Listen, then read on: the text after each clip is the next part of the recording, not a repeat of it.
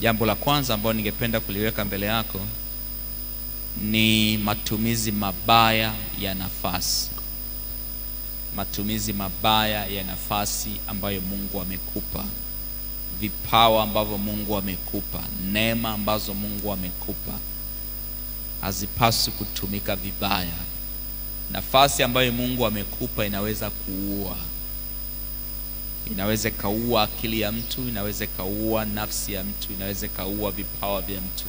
Nafasi ambayo Mungu amekupa, nafasi ambayo Mungu amekupa kwa neema, adui anaitafuta namna gani anaweza akaitumia kupitisha malengo yake.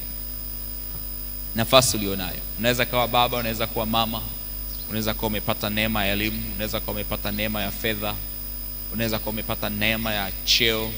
Shetani anatafuta namna gani anaweza akaitumia kufikisha malengo yake, na moja ya malengo makubwa ya adui ni kufisha uhai. Hayo ni moja ya malengo makubwa ambayo adui anayo, ni kuona uhai unafikia kikomo, uhai unakoma, uhai hauendelei.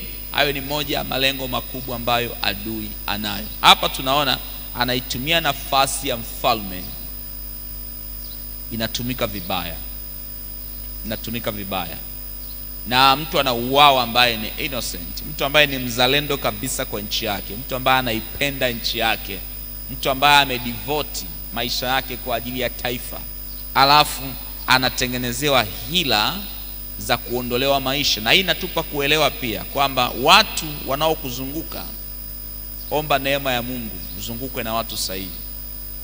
Haijalishi nafasi aliyo nayo, omba neema ya Mungu uzungukwe na watu sahihi kabisa. Watu wanaokuzunguka wanaweza kutumiwa na adui pia kukuletea madhara.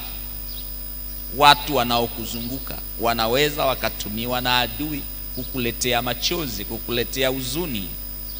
Anaweza kuwa bosi wako, anaweza kuwa mlezi wako, anaweza kuwa mzazi wako, anaweza kuwa ndugu yako, anaweza kuwa kiongozi wako wa kiroho, anaweza kuwa kiongozi wako katika taasisi uliopo. Nilikuwa naongea na mtu mmoja akawa ananieleza, anasema alienda kwa kiongozi wa kiroho, kiongozi wa kiroho akamweleza akamweleza kwamba hiyo ndoa yako ilifungwa wakati wa giza na haupaswi kuendelea kuithamini, haupaswi kuendelea kuwa nayo kabisa.